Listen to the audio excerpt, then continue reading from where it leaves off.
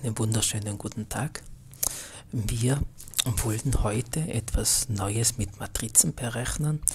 Und zwar war die erste Übung eine, ja, eine Simulation der Entwicklung einer Bakterienpopulation. Und heute wollen wir die Drehmatrix benutzen.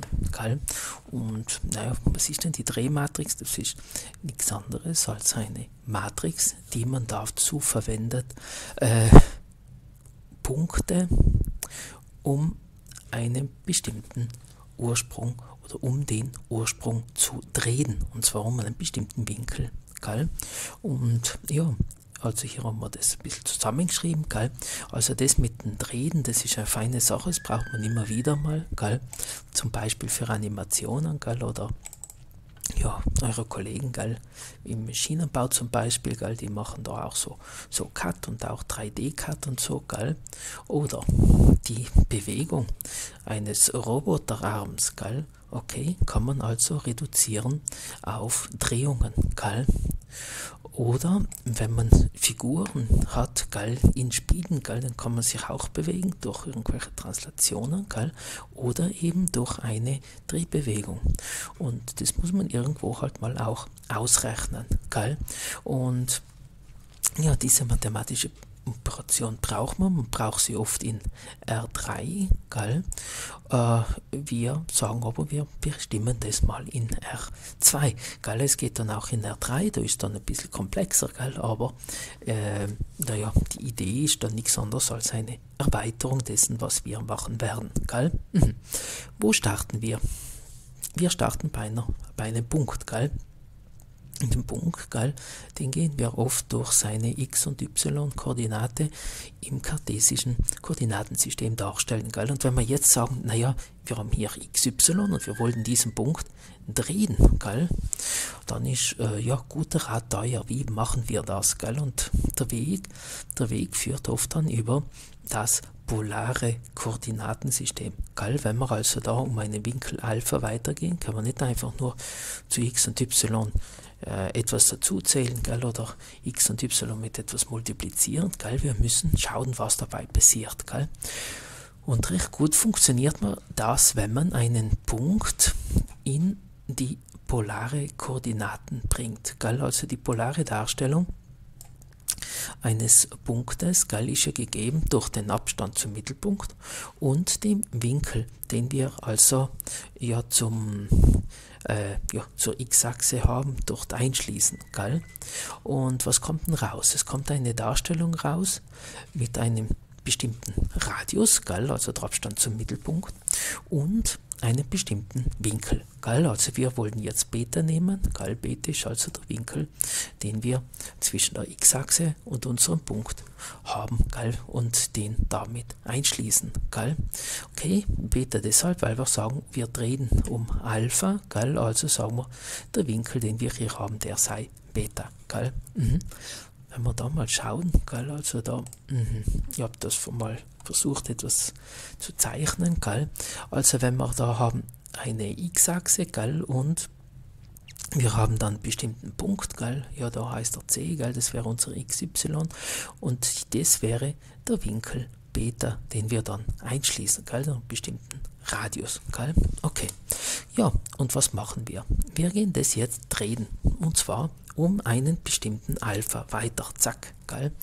Und ja, was bedeutet das? Das bedeutet, dass der Radius, der bleibt gleich bei der Drehung. Geil? Wenn wir um den Ursprung drehen, wir nehmen Punkt, drehen, dann verändern wir den Radius nicht. Geil? Schon mal eine feine Sache. Der Radius bleibt gleich.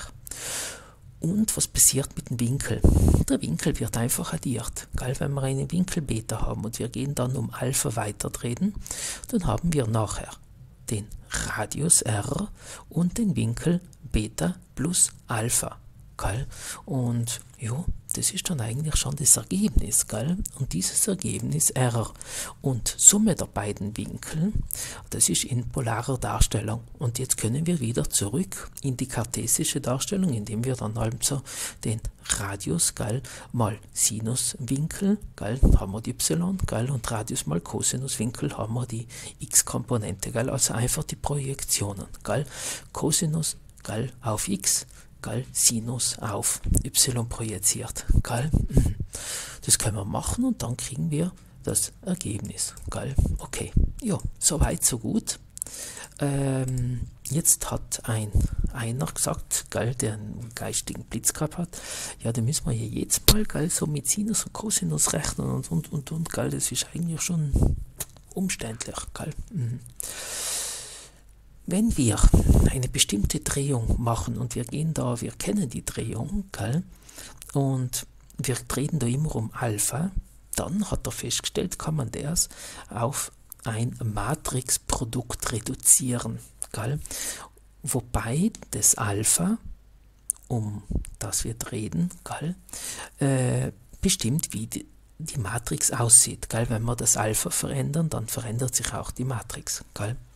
Und ja, das ist die Drehmatrix. Gell? Also die Drehmatrix gell, ist charakterisiert durch den Winkel Alpha, um den wir unseren Punkt dann drehen wollen. Gell?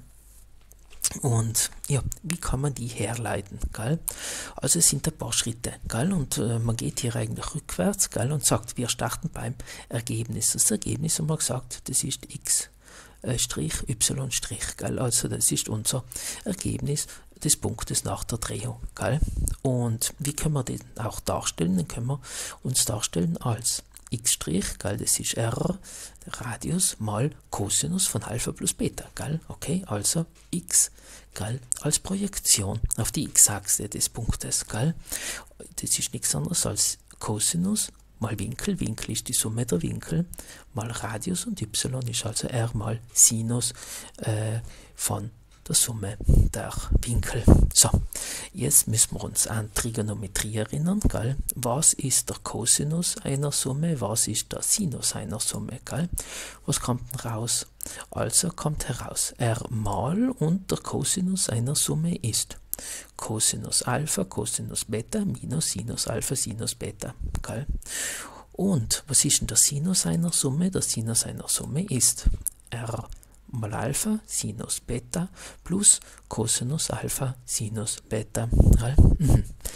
Ja, soweit so gut. Das bisschen trigonometrische Umformeln, gell? also das geht. Und jetzt kann man folgendes machen. Man kann hier etwas herausheben. Gell?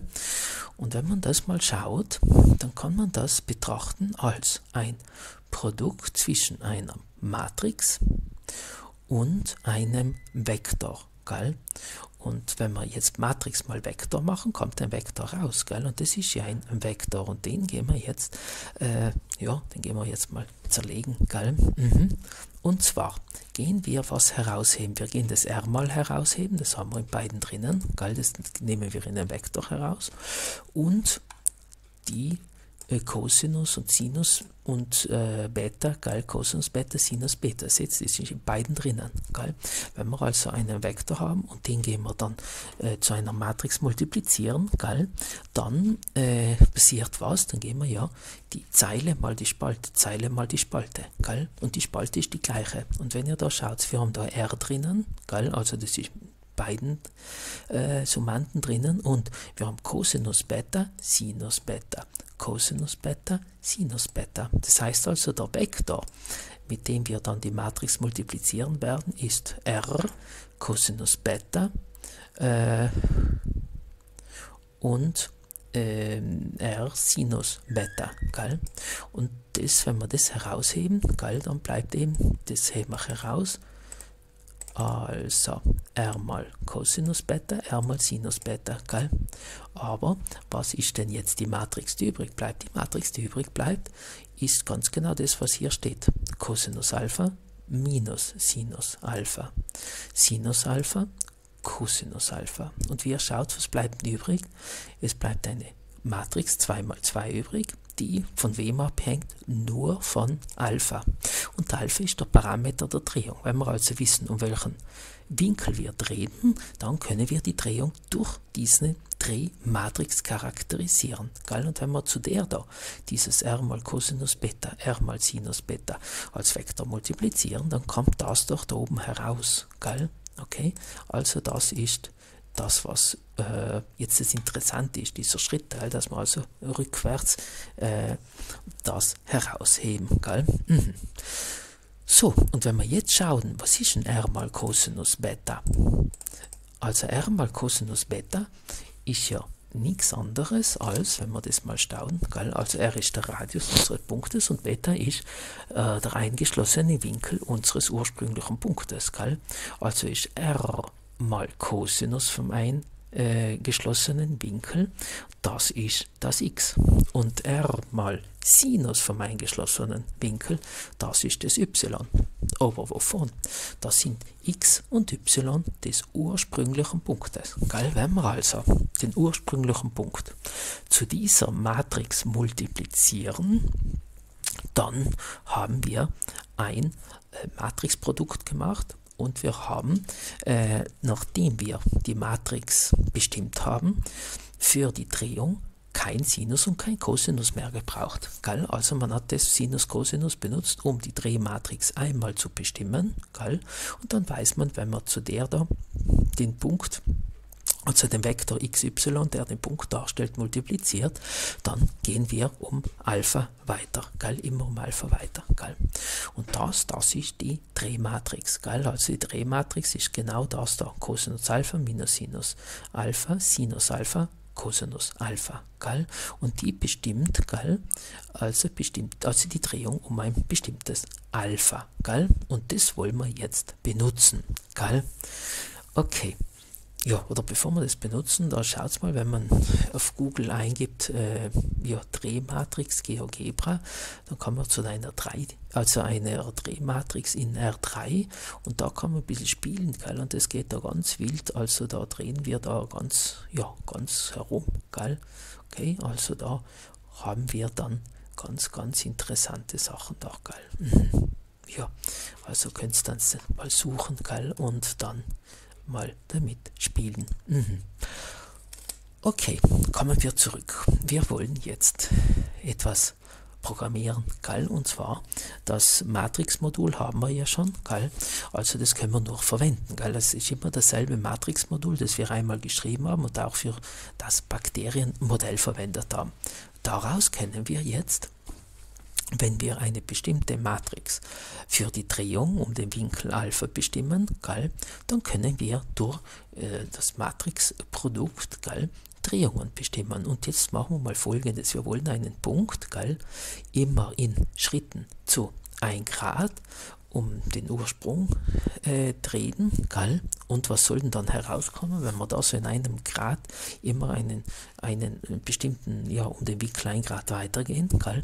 Dann werden wir zum Schluss einen Kreis äh, eben ablaufen. Wenn wir immer einen Grad weitergehen, dann haben wir 360 Punkte, gell? Wenn wir es feiner machen wollen, können wir auch in 0,5 Grad Schritten machen oder so, gell? Dann haben wir halt nicht 360, sondern 720 Punkte und so, gell?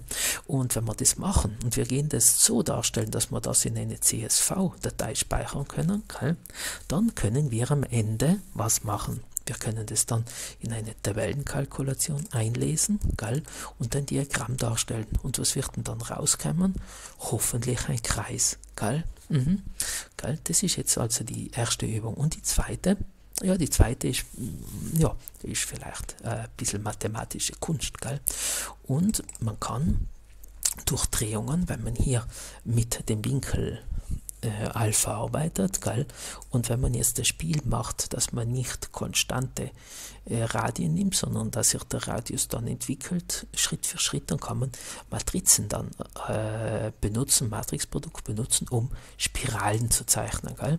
Und ja, wenn man da äh, auf Wikipedia dann geht. Da gibt es einen Artikel zu Spiralen und da gibt es ganz, ganz lustige Spiralen mit verschiedenen Eigenschaften und so. Gell?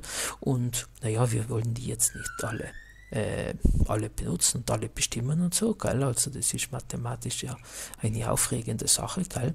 Aber wir können mit unserer Drehung und durch das Verändern des Winkels eine Spirale erzeugen, gell? Und da, wenn man da so in 1 Grad Schritten geht, dann darf sich der Winkel äh, bei, ähm, nicht der Winkel, der Radius in einem Schritt nur ganz wenig verändern, gell? Also diese Veränderung des Radius, das müssen wir auch, da müssen wir aufpassen, sonst tut das da und weg die Spirale, gell? Also das ist dann äh, nicht toll, die soll schon, die soll schon einmal rundherum fahren, gell? Vielleicht auch mehrmals und dann ist sie ja außerhalb unseres sichtbaren Bereiches, gell? Mhm. Gell? Okay, ja, das wollen wir programmieren und das wollen wir dann benutzen, um diese Sachen dann zu machen, gell? Ja, viel Spaß dabei.